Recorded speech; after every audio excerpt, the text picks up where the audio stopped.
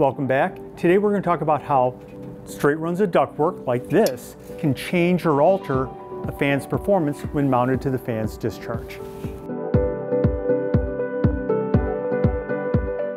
What we want to avoid is any loose articles like this lanyard or loose articles of clothing, rings, watches near a piece of rotating equipment.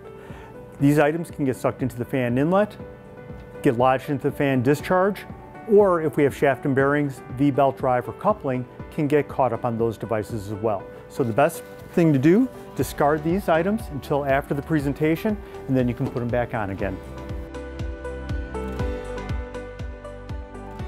For today's presentation, we have a fan, straight run ductwork, bell mouth inlet, pitot tube, some tubing connected to a magnet helix. This can give us a visual representation for how the fan's performance changes throughout the presentation. We have a straight run of ductwork, rectangular in shape. And we have a shorter rectangular round transition as well. Demonstration time. But before we get started, let's talk about fan housings and how air discharges a fan. Fans typically have a volute-shaped housing or a housing that's constantly increasing its radius. Air has mass. That mass wants to go in a straight line. As a result, most of the air hugs the outside of the volute shape. And we can demonstrate that by using this piece of paper. Putting it on the outside of the volute shape, that piece of paper stands up vertically. Put it on the inside of the volute shape, it actually gets sucked into the fan just behind the cutoff sheet. There's a negative pressure region there. To straighten out that velocity profile or get some static pressure regain, SMACNA, AMCA, most manufacturer or most industry standards require or request a straight run of ductwork. And looking at the straight run of ductwork, there's nothing inside of it, just clean, open duct, nothing there to forcibly change the velocity profile put it on the outlet, and we notice that that velocity pressure measured by the magnet helix has gone up pretty substantially. And that's because we have static pressure regain in this piece of ductwork and we're allowing the velocity profile to even out. What, I, what do I mean by an evened out velocity profile? Well, if I put this piece of paper on the outside of the volute shape, it still forcibly is stood up.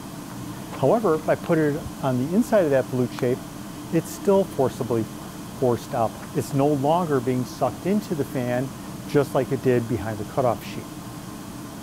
Now, you need a piece of ductwork, but how long do you need it? Well, even a short piece of ductwork, you're going to get some regain. And we can show that by utilizing the smaller, shorter, rectangular round transition.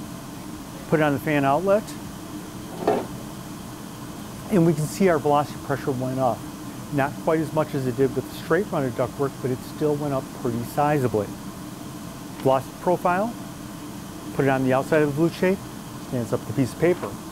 Inside of the volute shape, that piece of paper stands up pretty substantially as well.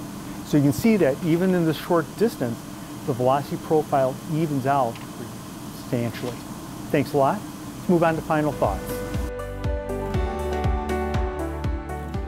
Ductwork on the fan outlet has a pretty big effect on how the fan performs, just like ductwork on the fan inlet. You need to have an effective duct length in order for that velocity profile as it discharges the fan to even out and get static pressure regain. AMCA standard 201 shows or tells us that we need to have two and a half duct diameters for the first 2,500 feet of velocity, an additional duct diameter for each 1,000 feet of velocity on top of it. It also shows in the graph or the diagram that if you have 50% of your effective duct length, you're going to get about 80% of your regain. So if you have an obstruction or some reason why you can't utilize full length of duct, something is much better than nothing. Thanks a lot. Any questions, comments, put it on the section below. Any thoughts on future presentations you'd like to see us do, let us know as well. We'll get right on it. Thanks.